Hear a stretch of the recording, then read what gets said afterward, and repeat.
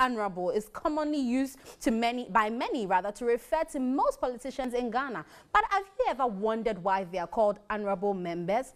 Well, let's go out and find out what really it means to be called an honorable member. The definition of an honorable person suggests someone who believes in truth, does the right thing, and tries to live up to high principles. In many democratic countries, the term honorable is used for MPs or legislators, presidents, vice presidents, and ministers of state. But here in Ghana, what do we see? So many people are called honorables. So we ask, who is entitled to be called an honorable? The Commonwealth is referred to mostly to uh, elective positions and people that have climbed the ladder to the highest office of some institutions they are called honorable. And so that is where it begins from. That is why we expect nothing but honor from people who are called honorable. Whatever you are, whoever you are, wherever you are, when you are given that position of honor, you have to change to behave like an honorable person. In Ghana, unit committee members, assembly members, metropolitan, municipal, and district chief executives, MPs, ministers, as well as some public officers are obsessed with the title. But are all these category of people entitled to it? Those are junior parliaments. In fact, if we had a federal, federal system, they would have been called maybe state parliaments. And once they are also elected, they also have the right to call themselves honorable. They are elected by members of the assembly. I have everything uh, against calling ministers who are not members of parliament honorable because they are just presidential appointees. They are not elected. Municipal Chief Executive of Adenta, Daniel Nii Noi Adumuah, said honorable only reminds him to be honest and transparent. It's a title you carry because you hold an office.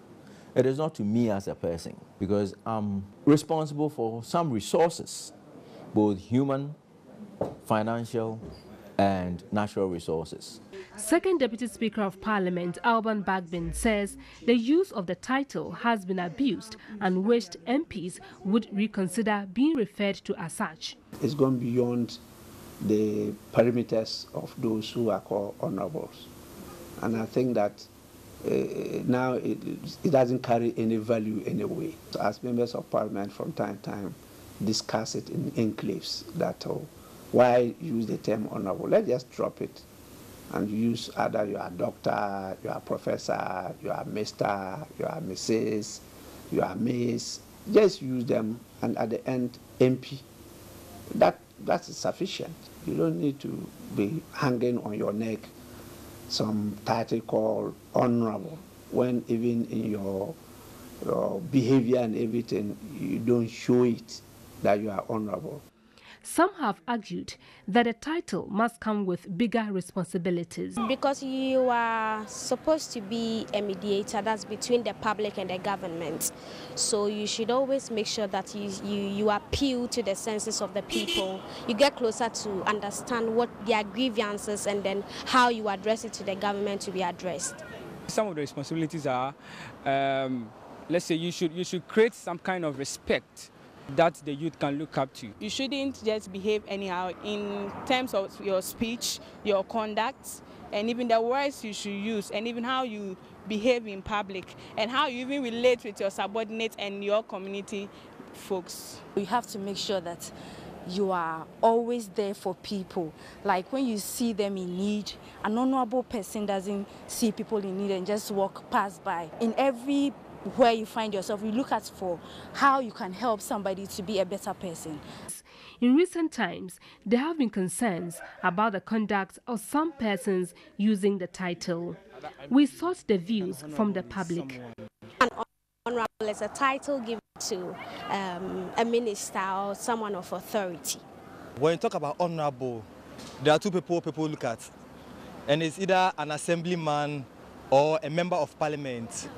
Honorable is just a title given to people who are popularly known or well respected. It's not just a name given to any or like specific people, but then if you are an MP, if you are a CEO, if you are a big personality in the country. An honorable should live well in terms of every aspect of their life. We have to see something exemplary about them that those who are looking up to them can copy. When they are given responsibilities, they, they, they honor the responsibility, they do it their best, you know, to keep themselves within the rules and regulations set by society. An honorable person should be honest. That is why the title honorable is there. You have to be truthful to the people you are serving. Someone with integrity. He has to be honest at all times and not just make himself big, but all those around him big as well. So the next time you hear someone being referred to as honorable, check whether he or she has been elected, makes laws, or has the guts and basic knowledge of all things. Evelyn Tinkma, TV3 News, Accra.